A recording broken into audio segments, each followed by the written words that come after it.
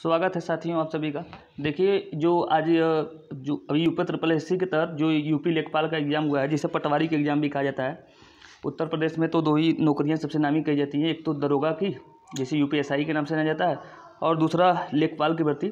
तो आज उसका एग्ज़ाम हुआ है तो हमारे भाई साहब गए हैं पेपर देने, और वहाँ से उन्होंने पेपर भेजा है, हमें सेंड किया है, और उन्होंने चूँकि क्रम से नहीं भेजा है तो आगे पीछे करके भेज दिया है। तो चलिए देख लेते एक बार कि पेपर कैसा है, रहा है, कैसा कैसा क्वेश्चन आया है। लेकिन एक, मैं उसका आंसर अभी नहीं बताऊँगा, क्योंकि एक बार आंसर मैं भी चेक कर लूँगा। तो शाम को पूरे एक्सप्लेनेशन के साथ हो सकता है कि पेपर मैं आज शाम को सॉल्व करा दूँगा। तो पूरे सौ क्वेश्चन को बताऊँगा, लेकिन अभी एक बार देख लेते हैं कि क्वेश्चन कैसा कैसा रहा। तो आप लोग देख लीजिए एक बार क्वेश्चन कैसा था। जैसे देखिए, पहले हिंदी में पेपर था जीवन पति का समानार्थी शब्द है, दिया है। फिर जिस दूसरा क्वेश्चन दिया है, जिसे इंद्र, जिसे इंद्रियों ने अनुभव न किया जा सके। इंद्रियों से अनुभव न किया जा सकते। अनेक पद के लिए एक शब्द है। क्वेश्चन आप लोग देख लीजिए। बस क्वेश्चन मैं पढ़ूँगा नहीं अब। तो क्वेश्चन देख लीजिए कि ऐसा ऐसा क्वेश्चन आया है। इधर भी क्वेश्चन है। तो कुल टोटल इधर पंद्रह क्वेश्चन है। टोटल पंद्रह क्वेश्चन इधर थे पहले पेज पर। फिर उसके बाद दूसरे पेज पर देख लेते हैं। देखिए यही क्रम से नहीं है। तो मैंने कहा कि कहीं पर हिंदी वाला पहले आ गया है, फिर इसी में ग्रामीण परिवेश, चार विषय थे। एक हिंदी था, ग्रामीण परिवेश था, मैथ था और जीएस था तो चार पेपर थे। चार विषय इसमें सम्मिलित किए गए थे। इन्हीं चार विषय में से आया है क्वेश्चन फिर देख लीजिए इधर, मैथ का भी आया है। मैथ से भी रिलेटेड कुछ क्वेश्चन आए हुए हैं। ये L C M H C F इस सब में से भी क्वेश्चन आए हैं। देख लीजिए। बहुत बढ़िया है पेपर। दो घंटे मिले थे समय पेपर को सॉल्व कराने के लिए। और इनमें से अधिकतर स्टेटिक्स से भी आया है। स्टेटिक्स ये जो मैथ बहुलक, ये सब होता है, इसको स्टेटिक्स में भी पढ़ाया जाता है। हाई स्कूल इंटर इस में पढ़ाया जाता है स्टेटिक्स के रूप में। तो देख लीजिए क्वेश्चन कैसा है।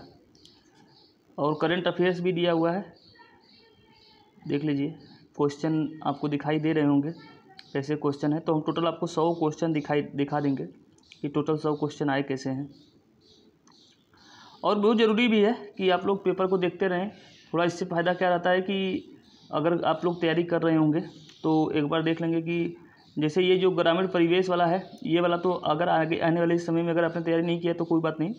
क्योंकि अगर आप लोग वन एग्ज़ाम में देना चाहते हैं तो ग्रामीण परिवेश जिसमें स्पेशली रहता है, उसी में पढ़ना होता है। बाकी तो जीएस तो सभी एग्ज़ामों में देना ही है। जैसे देख लीजिए, इसका जीएस में अध्ययन कराया जाता है। ये सब जो क्वेश्चन है, इसका जीएस में अध्ययन कराया जाता है।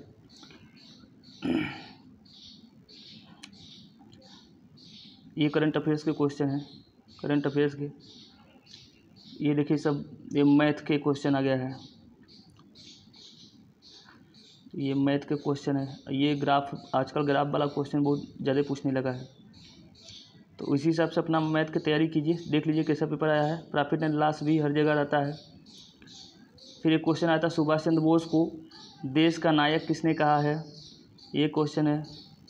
फिर देखिए, यहाँ पर एक क्वेश्चन जो है कि किस रियासत के खिलाफ ऑपरेशन पोलो ऑपरेशन पोलो की जगह हो सकता है कैटर पिलर दे दे, क्योंकि जो आंध्र प्रदेश के लिए था, ऑपरेशन पोलो की जगह कैटर पिलर भी कहा जाता है उस पुलिस अभियान को।